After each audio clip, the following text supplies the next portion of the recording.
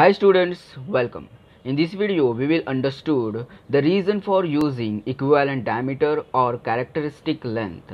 After that we will see some of the formulas of equivalent diameter or characteristic length for few geometries. Here students, equivalent diameter is denoted by DE and characteristic length is denoted by LE. So here this equivalent diameter or characteristic length we use in non-dimensional numbers. Here as we know pipes and plates are simple geometries. So here occurrence of flow is easy. Okay? Further in some cases we use complicated geometries. There the calculations concerning flow and convective heat transfer becomes complicated and difficult. So to avoid these complications and difficulties here we use concept of equivalent circular tube. Okay? Further this tube this tube present same resistance against the flow and secure same heat transfer as duct used under the equal or comparable conditions. Okay? So here diameter of the equivalent tube is known as equivalent diameter DE or we can say characteristic length LE so here further this equivalent diameter DE is defined as you can see here this is a common formula for equivalent diameter or you can see say characteristic length which is here DE is equal DE is defined as DE is equal to 4 AC upon P where AC is cross sectional area and P is the perimeter. Okay? So further we will elaborate this. 4 into pi by 4 d square upon pi d which is equal to d which is inner diameter of tube. So here de is equal to d. Okay?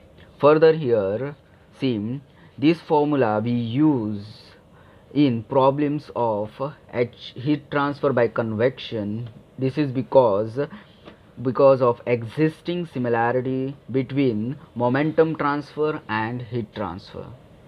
Now students will see some formulas of equivalent diameter or we can say characteristic length for few geometries. Okay? Here first geometry is this one which is rectangular duct. So here for rectangular duct we will calculate or derive this formula by using our general equation which we have seen earlier. As you can see here this one d is equal to 4ac upon p. Okay?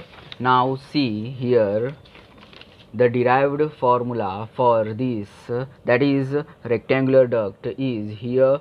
De is equal to 2lb upon l plus b.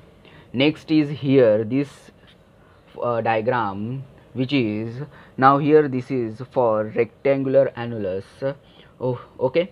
So here we have formula here DE that is equivalent diameter is equal to 2 into bracket L1 B1 minus L2 B2 upon into bracket in again into bracket L1 plus B1 bracket closed plus L2 into bracket L2 plus B2 bracket closed again big bracket close okay? Now here see when this L1 is equal to B1 and this L2 equal to B2 then here formula changes to DE is equal to L1 minus L2 okay? Now see here further for annulus here this diagram this one th third diagram here uh, formula is d is equal to 4 into bracket lb minus pi by 4 d square upon into bracket 2 into bracket l plus b plus pi d bracket closed. Okay?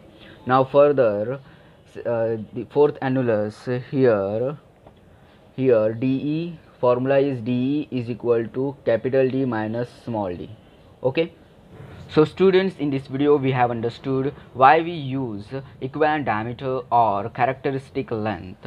Also we have studied some formulas of equivalent diameter or characteristic length for few geometries. Thank you students for watching this video. Like share and comment for this video and subscribe my channel. Thank you